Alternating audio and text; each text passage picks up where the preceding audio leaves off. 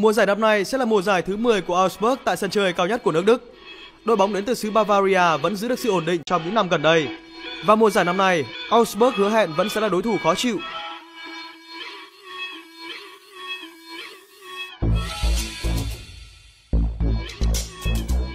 Triết lý bóng đá của một câu lạc bộ thường được đo bằng những mục tiêu của họ. Tuy nhiên sau tất cả, thành công của đội bóng luôn được đánh giá theo một khía cạnh nào đó. Với Augsburg, quan điểm của họ, thành công của họ là vẫn được thi đấu ở giải đấu cao nhất của nước Đức Bundesliga.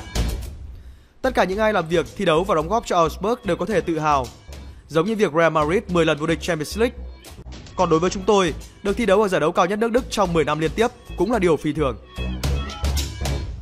Khiêm tốn là từ ngữ rõ nhất để miêu tả về Augsburg, đội bóng chưa bao giờ quên nơi họ bắt đầu.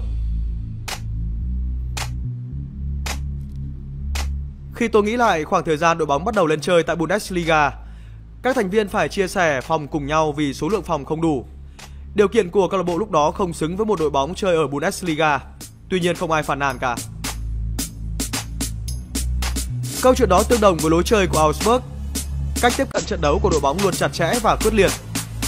Tuy nhiên vào những ngày đẹp trời, thứ bóng đá mà Augsburg đem lại có thể gây khó khăn cho các đội bóng hàng đầu.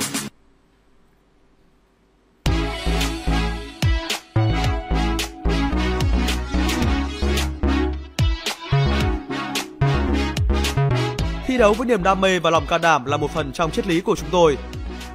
Lúc đó cảm giác Augsburg giống như một gia đình vậy. Triết lý đó cũng phản ánh giống như trong thành phố vậy. Từ nhà thi đấu đến trung tâm của Augsburg gần 7 km, nơi có nhiều điều kiện để bạn khám phá. Ở đó có tòa thị chính 400 năm tuổi, được thành lập năm 1610. Tòa nhà thời kỳ phục hưng lớn nhất ở phía bắc dãy núi Alper. Khu hợp phức nhà ở xã hội lâu đời nhất thế giới. Tất nhiên không thể thiếu Kasperler, nhân vật múa rối nước truyền thống và nổi tiếng. Tôi nghĩ đây là thành phố xinh đẹp. Người dân Augsburg sống chân thành, thực tế, ở đây người dân cũng nhiều tham vọng phát triển. Một điều phù hợp với thành phố cũng như đội bóng.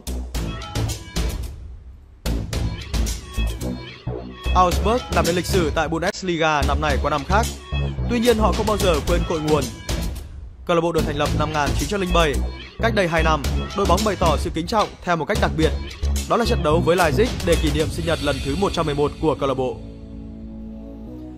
Những gì đọng lại trong chúng tôi là những hình ảnh tuyệt vời, Tất cả mọi người đều tham gia và cả đội đều hứng thú. Tuy nhiên bất chấp niềm vui và sự đáng mến của một đội bóng giản dị như Augsburg, Mục tiêu dài hạn rõ ràng khi FC Augsburg được thành lập đó là đưa đội bóng nằm trong top 10 câu lạc bộ tại Đức. DNA của câu lạc bộ chắc chắn không ngăn cản tham vọng của họ.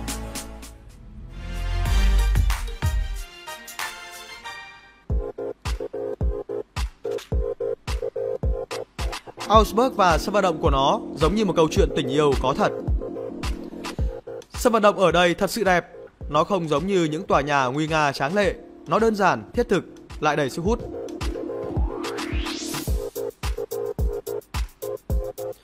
Một người nào đó nói đã suýt bỏ lỡ trận đấu trên sân nhà WWK Arena cho đến trước khi đại dịch Covid-19 bùng phát. Xin chào mọi người, tôi là Nico đến từ hội cổ động viên của Augsburg. Đây là phòng khách của tôi.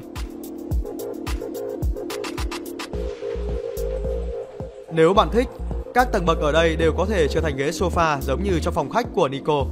Điều đặc biệt là sân đấu này được xây dựng với độ dốc tối đa và khoảng cách tối thiểu giữa khán đài và sân.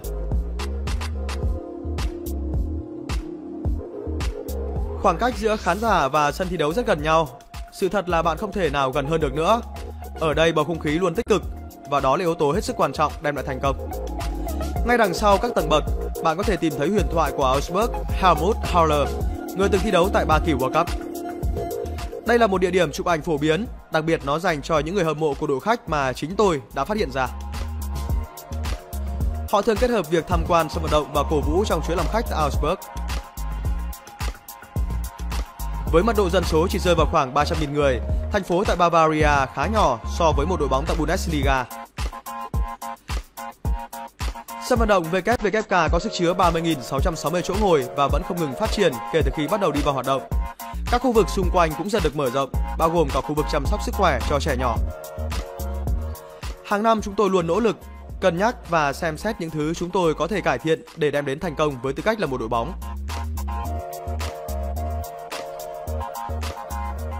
Hoàn thành vào tháng 9 năm 2017 với bề ngoài lộng lẫy.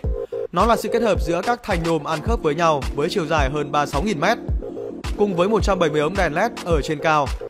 Tất cả tạo nên một sân vận động có 102 tại Bundesliga.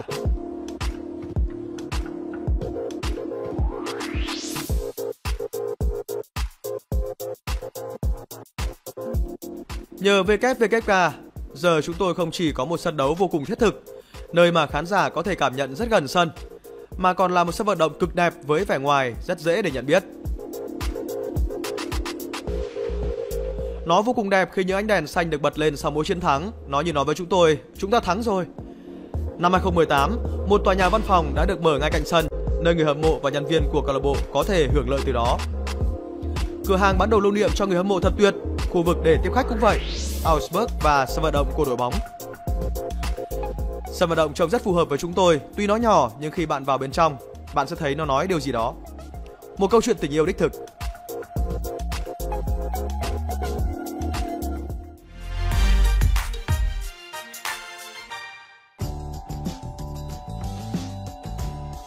Kinh nghiệm, khao khát và là mối nguy hiểm trước khung thành đối phương, FC Augsburg. Đội bóng của huấn luyện viên Heiko Herrlich giờ đây họ đã chiếm một vị trí vững chắc tại Bundesliga. Cả tập thể là một ngôi sao, tuy nhiên sẽ có những vị trí chơi nổi bật hơn. Ở đội bóng này là hàng phòng ngự.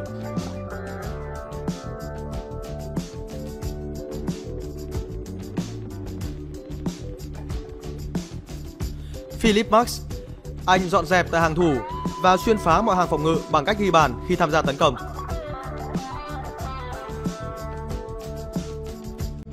Nếu tôi ghi bàn, tôi thực sự cảm thấy hạnh phúc cho cả đội hơn là chỉ cho bản thân.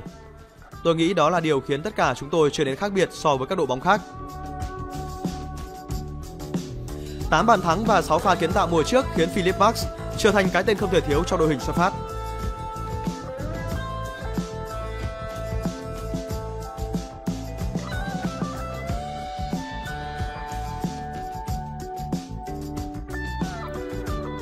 Tôi đã trải qua tuổi trẻ của mình tại Bayern Munich và khi tôi ghi bàn vào lưới của Manuel Neuer, cảm giác thật tuyệt vời.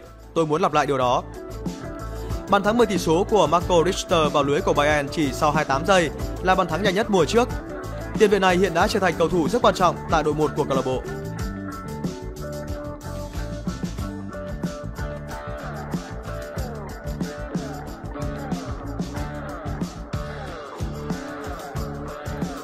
Với con số 13 pha lập công, tiền đạo Florian Niederlechner là cây sân bàn tốt nhất của Augsburg mùa trước.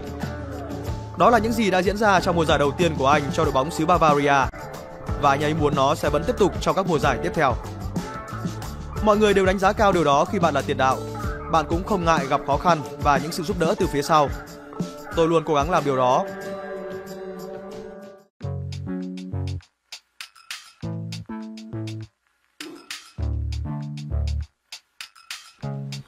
Anh là người đưa trang phục Swabian lên một tầm cao mới.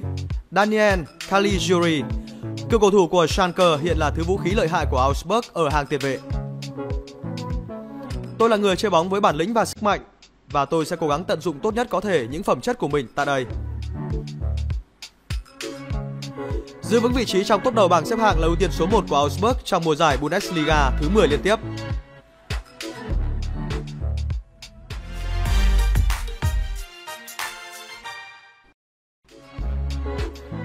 Họ không bao giờ quên trận đấu này tại Augsburg.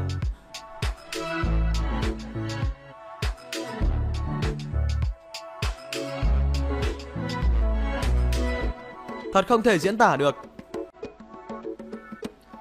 Stephen Reuter vẫn còn xúc động từ khi rời đi cho đến nay. Tuy nhiên chúng tôi sẽ cố gắng làm được điều đó, không thể diễn tả. Đó là trận đấu cuối cùng của mùa giải 2014-2015 Augsburg có cơ hội cán đích ở vị trí thứ 5 trong cuộc đối đầu hấp dẫn để hướng đến một chiến thắng. Chúng tôi đã mơ đội bóng đủ điều kiện tham dự cúp châu Âu. Đối thủ của họ, đội bóng hay nhất của nửa sau mùa giải Mönchengladbach, đội chủ nhà Borussia đã vươn lên dẫn trước. Nhưng trong hiệp 2, những hy vọng của Augsburg đã được hồi sinh một cách ngoạn mục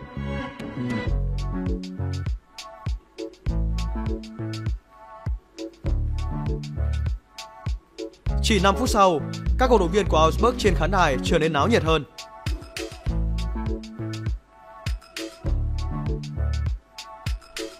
Huấn luyện viên Marcus Van Zier chỉ mang về những cây săn bàn. Router vẫn nhớ khoảnh khắc quan trọng đó hơn bất kỳ ai. Những bàn thắng rất đẹp mắt. Một cú sút xa của Pierre Emile Horsberg, người thực sự có thể đưa bóng đi trúng đích. Và Mataps thường xuyên ghi những bàn thắng như thế trong các buổi tập và rất may anh ấy có thể thực hiện nó trong trận đấu này. Bây giờ các dây thần kinh đang rung lên. Nó chỉ chờ được đóng băng.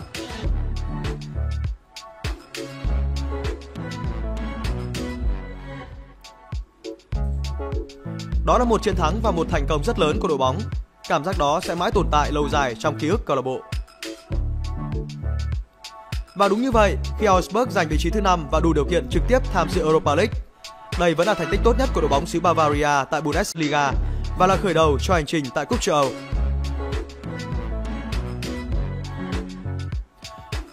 Được ở đây, trải nghiệm giải đấu Europa League với Augsburg là một điều phi thường. Và điều định nghĩa Augsburg cũng chính là khẩu hiệu mà chúng tôi đã có khi đó.